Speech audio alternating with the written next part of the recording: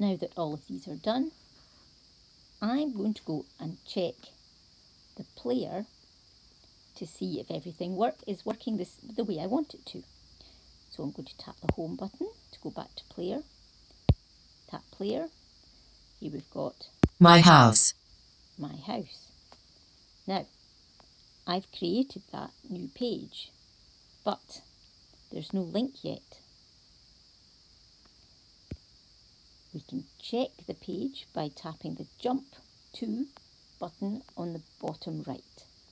And you can see the button, the page My House appears. Tap on that. Bathroom.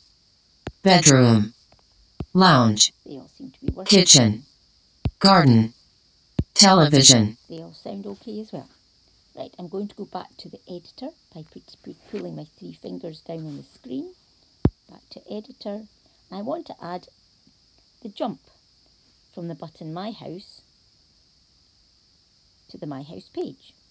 So if you tap the button and the editor part of the button comes up, tap action like you did before for the speech, but this time tap jump to page, tap change, tap my house, tap away, tap done.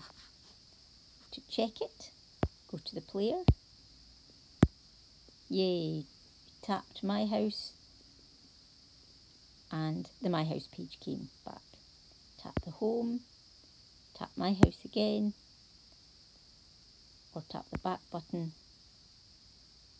and you can go back and forward between the pages. Go back to editor and we can do the same with all the other buttons.